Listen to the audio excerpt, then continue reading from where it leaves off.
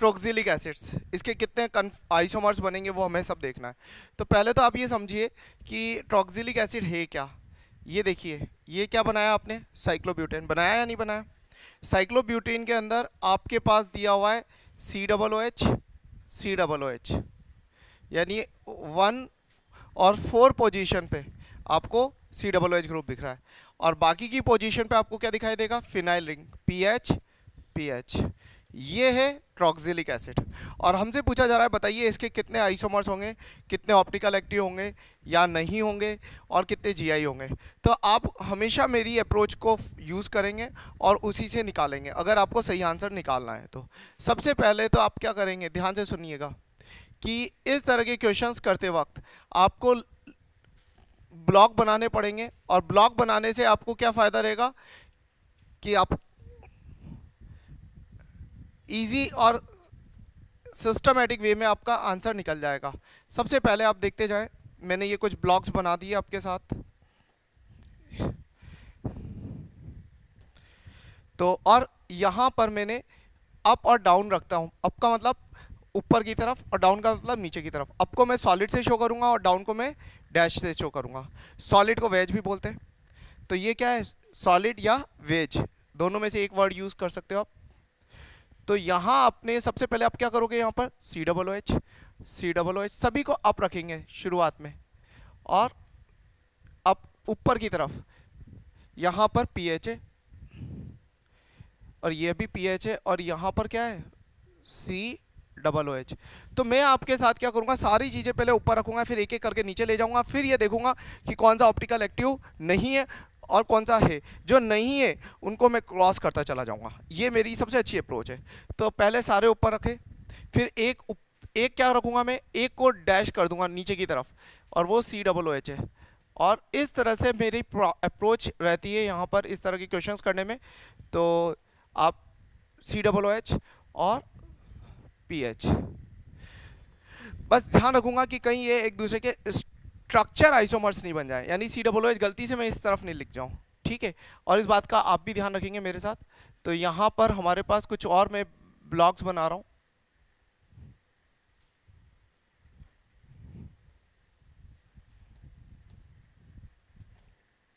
तो आप जल्दी से इन चीज़ों को बनाएँगे मेरे साथ।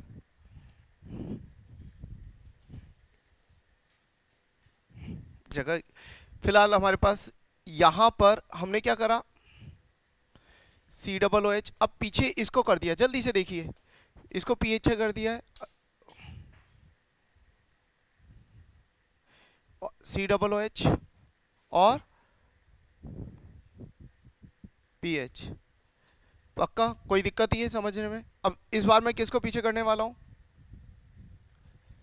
C double O H P H और अब मैं यहाँ सी डबल एच को पीछे की तरफ़ ले जा रहा हूँ। और यहाँ क्या लिखूँगा मैं? जल्दी से बोलो। पी एच फिर उसके बाद C double H P H आप इसके अलावा कोई और मेथड यूज़ करते हैं तो वो उसमें हो सकता है वो जल्दी हो जाए, लेकिन आंसर गलत भी हो सकता है। तो ये आपके पास क्या हो जाएगा? पी एच आपने सारे एक एक करके पीछे पीछे पीछे भेज दिया है। सबसे पहले एक दो तीन चार। अब आप किसको करेंगे? दो दो को पीछे भेजेंगे। बिल्कुल सही जा रहे तो C double O H P H और यहाँ पर आप क्या करेंगे? यहाँ और यहाँ। ये दोनों सॉलिड रहेंगे। तो ये सी डबल ओ एच और ये पी एच यहाँ आप क्या करेंगे? आ, पहले इन दोनों को करा। अब सामने वाले को पीछे भेजेंगे और कोई बहुत बड़ा काम नहीं है। अब इन दोनों को आप करेंगे इस तरह से।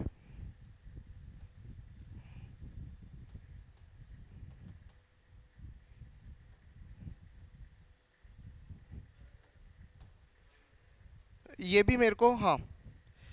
तो मुझे यहाँ पर इस बार इसको पीछे की तरफ़ भेजना है। और सी डबल ओ एच आगे रखना है। बिल्कुल सही है, कोई दिक्कत आपको? और अब इन इसके साथ सभी का एक एक बार पेयर ले लिया। अब इसको सॉलिड करके, इसको सॉलिड करके मैंने यहाँ पर बैक में लेना शुरू कर दिया।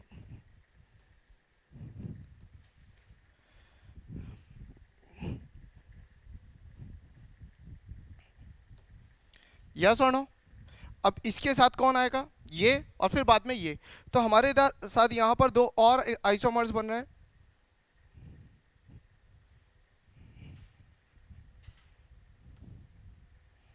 जल्दी से बनाएँ।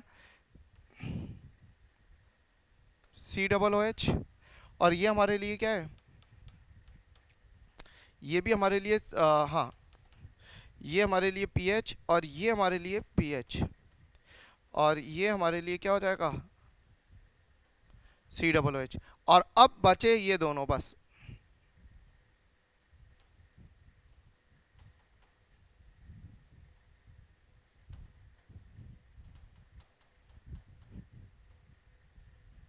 और यहाँ पर क्या आएगा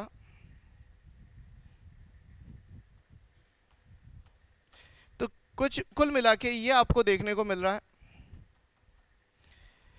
अब एक बार और ध्यान से सुनिए, मैंने सब ऊपर रखा, फिर एक पीछे रखा, फिर यहाँ ये पीछे रखा, यहाँ ये रखा, फिर अगली बार में मैंने यहाँ रखा, फिर उसके अगली बार में मैंने यहाँ रखा, फिर दो को पीछे लेके गया, फिर इन दोनों को पीछे लेके गया, फिर उसके बाद, इन दोनों के बाद, इन दोनों को पीछे रख के गया, फिर उसके बाद, ध्यान से देखिएगा, फिर इस दोनों का नंबर आया, और फिर उसके बाद इन दोनों का नंबर यहाँ आया और फिर उनके बाद इन दोनों का नंबर यहाँ आया। तो इस तरह से मुझे one, two, three, four, five, six, seven, eight, nine, ten, eleven structure मिली। बोलो, मिली या नहीं मिली? क्या इसके इलेवन आइसोमर्स होते हैं? नहीं। कम होंगे? क्यों होंगे? कि कुछ क्रॉस कर जाए। अब कौन सी क्रॉस करेंगे? इस पर चर्चा करनी पड़ेगी हमारे को। तो आप मुझे बताइए कि इसके अंदर कौन मेजो है? कौन ऑप्टिकली इनएक्टिव है? तो यहाँ आप बहस कर सकते हैं मेरे साथ। तो शुरू करते हैं वापस छोटे छोटे पॉइंट्स को लेते हुए। क्या ये पीओएस रखता है? हाँ या ना? हाँ। पक्का? ये देखिए। तो ये मेजो है या नहीं है? है। ये मेजो है। बोलो। मेजो का मतलब ऑप्टिकली इनएक्टिव बेटा आपका कहना सही है कि मैंने वो नहीं बनाया कि अब तीन या चार का, जिसमें पीछे लिया जाए। मैंने दो तक लिया है। अगर मैं तीन को पीछे लेता हूँ, तीन को पीछे लेके एक को आगे लेने का केस वही हो गया जो तीन को आगे और एक को पीछे लेने का। चारों को पीछे लेने का मतलब है इसको अगर पीछे घुमा दिया एक सौ पे तो चारों पीछे आ जाएँगे और किसी भी कंपाउंड को एक पूरा एक सौ अस्सी डिग्री पे घुमा दिया जाता है तो वो आइडेंटिकली होता है। इसलिए मैंने चारों को पीछे या तीन को पीछे एक को आगे लेने वाले केस नहीं लिए, क्योंकि वो तो पता है पहले करते ही कि वो आइडेंटिकल हो जाएँगे। समझ में आया? इसलिए मेरे पास इस तरह के क्वेश्चन हो। वो टॉक्सिलिक एसिड हो या टॉक्सिनिक एसिड हो। लिक हो या निक एसिड हो। दोनों में अंतर है। लेकिन सबके आइसोमर्स यहाँ पर कितने बनेंगे? 11 बनेंगे और उसमें हम क्रॉस करके फिर फाइनली आंसर निकालेंगे, जो कि आंसर 11 से कम होगा 100 परसेंट कम होगा। ठीक है ना? ये बात तो तय है। तो 100 परसेंट कम होगा, ये बात तो तय है। तो यहाँ पर ये मेजो या नहीं है। मेजो है ये मेजो या नहीं है। आप देखो मैंने यहाँ से ये लाइन लिखी, पी ओ मेजो है, ये भी मेजो है। ये मेजो है या नहीं है? आप सोच के बताओ। मैंने लाइन यहाँ से ली है। ये दोनों ऊपर हैं इक्वल डिस्टेंस पे। तो क्या ये मेजो है या नहीं है? ये भी मेजो है। बोलो हाँ या ना? मेजो है। क्या ये मेजो है या नहीं है? मैंने लाइन यहाँ से ली है, ये भी मेजो है। बोलो, यस। क्या ये मेजो है या नहीं है? यहाँ से लाइन ली है मैंने। क्या ये मेजो है या नहीं है? यानी ये मेरा प्लेन है। पीओएस रखता है, और पीओएस रखता है तो ये भी मेजो है। क्या ये मेजो है या नहीं है? मैंने अपना जो प्लेन लिया है, आप देखिएगा ध्यान से, मैंने यहाँ पर, मुझे लग ही नहीं रहा ये मेजो है। नहीं लग रहा ना? आपको भी ऐसा लग रहा है, क्यों? क्योंकि इसमें पीओएस नहीं है। लेकिन क्या इसमें पीओएस पीओसी है? Plane of sorry point of symmetry है या नहीं है?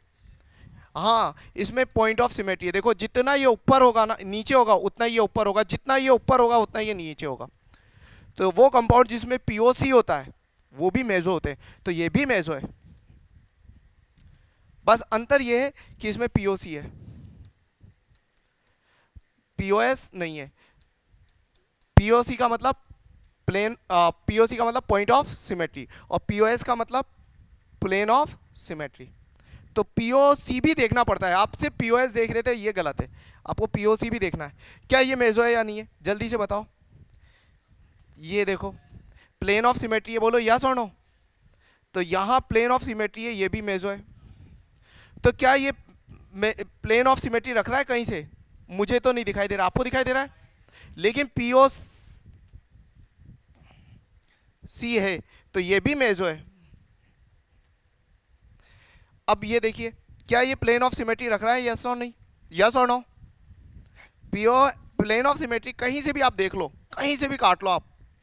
आपको प्लेन ऑफ़ सिमेट्री यहाँ पर दिखाई प्लेन ऑफ़ सिमेट्री नहीं दे रहा है, मुझे तो नहीं दे रहा है। अगर मैं यहाँ से काटता हूँ तो सी डबल ओ एच ऊपर है और एक सी डबल ओ एच नीचे। पी ओ एस का मतलब दोनों या तो ऊपर होने चाहिए या दोनों नीचे। तो वो तो आपने मेरा पॉइंट पढ़ लिया तो लेकिन यहाँ पर ये जितना ऊपर है, उतना नीचे, ये यानी ये भी आपके लिए मेजो है। ये भी आपके लिए मेजो है। ध्यान से सुनना। अब आते हैं यहाँ पर। यहाँ तो सीधा सीधा आपको पीओएस दिख रहा है। दिख रहा है या नहीं दिख रहा? पीओएस दिख रहा है प्लेन ऑफ़ सिमेट्री दिख रहा है तो ये भी मेजो है। क्या ये ये वाला कंपाउंड ये क्या दिख रहा है? पीओसी और ये भी मेजो है। तो इनमें सारे मोइजो हैं, बेटा। कोई भी ऑप्टिकल एक्टिव नहीं है। किसका? ट्रॉक्सिलिक एसिड में कोई भी ऑप्टिकल एक्टिव नहीं है। आपको सारे मेजो दिखेंगे। लेकिन क्या अब हम, जब ऑप्टिकल एक्टिव नहीं है तो अब आंसर क्या होगा? जीआई होंगे। हम जीआई चेक कर लेते हैं। बस जीआई कर लेते हैं। तो जीआई कैसे चेक करेंगे आप? नाइन्थ को एक बार और मैं समझा देता हूँ, बेटा। देखो, यहाँ जितना ये ऊपर होगा, उतना ये नीचे होगा। जितना ये ऊपर होगा, उतना ये नीचे होगा। यानी आप जितना ऊपर यूँ जा रहे हो, उतना ही नीचे दूसरी चीज़ मिल जाती है। तो पीओ है। है ना? तो ये क्या है? पॉइंट ऑफ़ सिमेट्री रखते हैं और जिसमें भी पॉइंट ऑफ़ सिमेट्री या प्लेन ऑफ़ सिमेट्री है, वो आपके लिए क्या होंगे? मेजो होंगे। दूसरा प्लेन ऑफ़ सिमेट्री हो तो ज़रूरी नहीं है कि पीओएस हो पीओसी हो, और ये भी ज़रूरत नहीं है कि पीओसी हो तो प्लेन ऑफ़ सिमेट्री हो। तो कई कंपाउंड्स में आपको यहाँ पर देखने को मिलेगा। अच्छा अब आगे की बात मैं आपके साथ फिर शेयर करूँगा कि कौन कौन से आइडेंटिकल होंगे, इसका पता लगाना यहाँ पर और भी बहुत आसान है। तो मेरी बात सुने पहले। आप एक काम करें, जब इस तरह के कंपाउंड होते तो बस टिक करें कि यहाँ पर सब ऊपर हैं। ये तो अपने आप में काउंट होगा। या सुनो जब सारे ऊपर हैं तो ये काउंट होगा। एक। समझ में आ रहा है? तो इसको कैसे लिखेंगे ये सब काउंट हो रहा है? हम तो बाद में कंफ्यूज हो जाएँगे।